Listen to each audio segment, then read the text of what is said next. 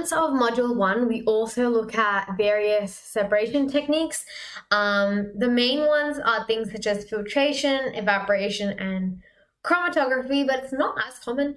Um, and these are pretty much physical methods of separation, and they rely on the differences of physical properties.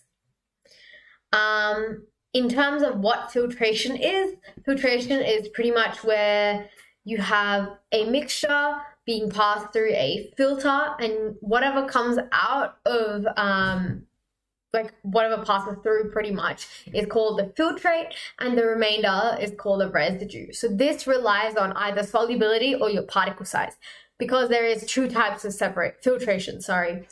Um, Filtration can also be something like sieving. So that's when you have like, let's say a bunch of rocks of different sizes and you sieve it through. And what happens is that smaller rocks go to the bottom, bigger rocks stay at the top. Um, and in terms of solubility, you may have something that is insoluble. So let's say something like um, lead chloride and it's in water. And you have to separate the lead chloride from the water. You would then use filter paper pour the mixture and what will happen is that the lead chloride will be at the top of the filter paper and the water will just pass through. Evaporation has two different types. Um, like it kind of branches off pretty much. You have crystallization and distillation. Um, crystallization is pretty much where you have a mixture being heated up and it cools down. Um, and when the solution cools down, the liquid pretty much evaporates and you have crystals being formed. And you can see um, different kinds of crystals that are formed. Like, so for example, um, magnesium sulfate forms crystals um, and sodium chloride forms crystals as well. It's really cool. Um, and then you also have distillation. Distillation is where you have two liquids and you separate them according to boiling point. So let's say I have, um, it's a hard one. Um, let's say I have water and then probably maybe, um, another solution. So for example, I'm just trying to think of a solution that we may use. Um, something like hydrochloric acid. Um, in that case, it's likely that the water might may have a higher boiling point, so therefore that will um, evaporate later. So that's how you kind of separate it in terms of distillation. You also have other techniques called decanting and centrifugation. Centrifugation, sorry.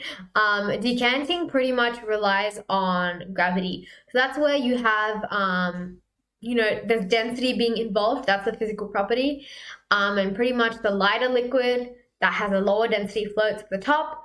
The heavier liquid, the more dense liquid is at the bottom, and you just pour the lighter liquid out first, and then you've separated the two layers. Centrifugation is where you have centrifugal force being used, and you separate components according to um, either their size, shape, or density. So um, it depends.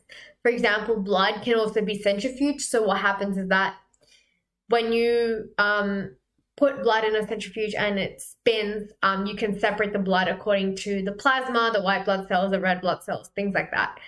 Um, I don't know how, I don't know the density of those, but that's how you kind of separate blood when you need something like plasma.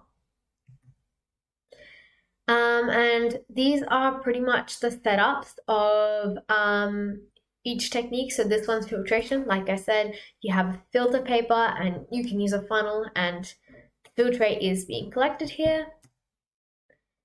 This is evaporation. Um, evaporation is pretty straightforward. I'm sure we've all seen it. Um, you just use a Bunsen burner or a heating mat, whatever you want to use. Um, not a heating mat, sorry, a heating, uh, not a heating plate, a hot plate. Um, or you can also distill things. So like I said, that's through um, boiling point and you use something called a condenser and you have water being used as well because water helps to cool down the condenser as well as the liquid is passing through. And this is also what a centrifuge looks like.